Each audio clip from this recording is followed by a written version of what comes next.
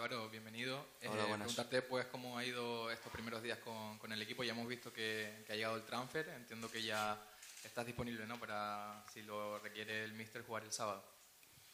Hola, buenas. Pues sí, como tú dices, ya, ya ha llegado por fin. Tenía muchas ganas de que, de que fuera la semana pasada, pero bueno, son burocracias que no, no podemos hacer nada. Y nada, yo sigo entrenándome con los compañeros y, y muy contento de, de haber llegado aquí y poder sumar y poder estar ya a las órdenes del míster.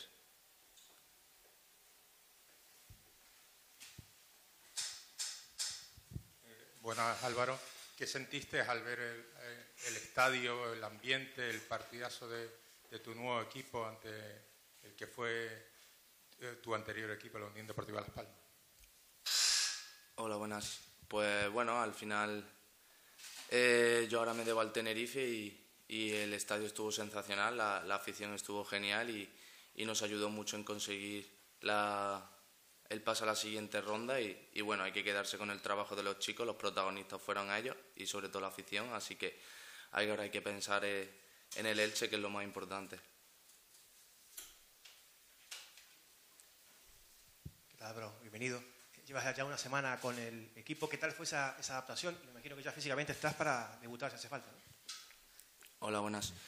Pues sí, yo nosotros del sitio en el que vengo no, no hemos parado, no, no existe la Navidad, no existe el parón, así que no, no, no, no he parado y llegué y me puse a las órdenes de- del míster para entrenar y me han acogido genial los compañeros y, y ya me siento uno más y claro, si el míster lo cree conveniente, estoy disponible para el sábado.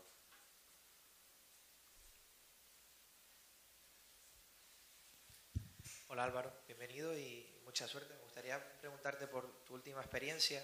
No sé si el hecho de precisamente regresar a España, igual a mitad de camino, porque las cosas no han ido muy bien, no te has sentido muy cómodo y sobre todo, ¿cómo estás tú? ¿Cómo te ves? Físicamente se te ve bien, pero a nivel competitivo, ¿crees que vas a acusar la diferencia o, o igual por lo que has podido ver estos días, estás bien incluso para competir desde el minuto cero?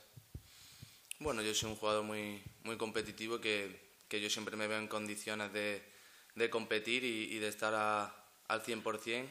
Y bueno, la, del sitio del que vengo, la liga en el que vengo no, no es una liga mala, lo que es es diferente, un juego diferente como en cualquier otro país.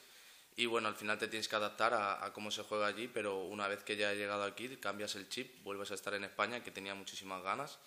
Y ahora hay que, que estar al 100% y yo creo que lo estoy.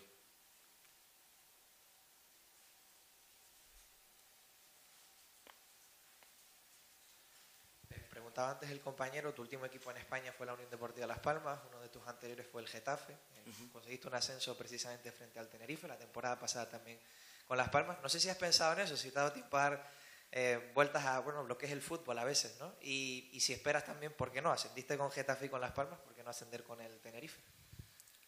Sí, claro, al final son anécdotas, ¿no? Que, que pasa que al final se queda en fútbol, ¿no? Cuando estás defendiendo unos colores, tienes que defender esos colores a muerte y yo ahora aquí estoy en Tenerife y claro, lo que más quiero y lo que más me gustaría es poder, poder volver a ascender, claro. Te definía un poco antes, Mauro, como, como jugador. ¿Cómo, ¿Cómo te definirías tú? ¿Qué crees que puedes aportar al Tenerife?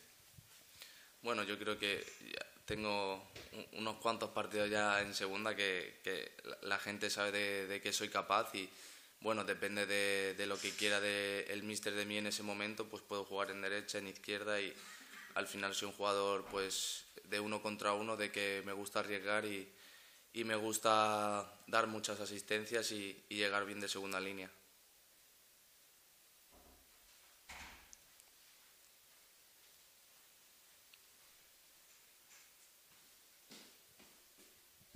Hola Álvaro, bienvenido. Ya sabes lo que es meter un gol aquí en el Heliodoro, pero imagino que ahora estás pensando en hacerlo con la camiseta del Tenerife. Más o menos, no sé si no creo, te pones una cifra, goles, asistencia o vas a ir poco a poco rápido a partir. Hola, buenas. Pues bueno, al final cuando, cuando uno llega quiere hacer los máximos logros individuales posibles porque eso ayudará al colectivo, ¿no? Pero creo que hay que ir paso a paso. Al final hay que, esto es un equipo y no, no es una individualidad. Y yo creo que cuanto mejor yo esté, será mejor para el equipo y para el grupo. Y, no, no me he planteado ni- ninguna cifra, pero bueno, lo que me gustaría es hacer el, el gol o una asistencia con esta camiseta aquí y fuera y cuanto más, mejor seguro para el equipo.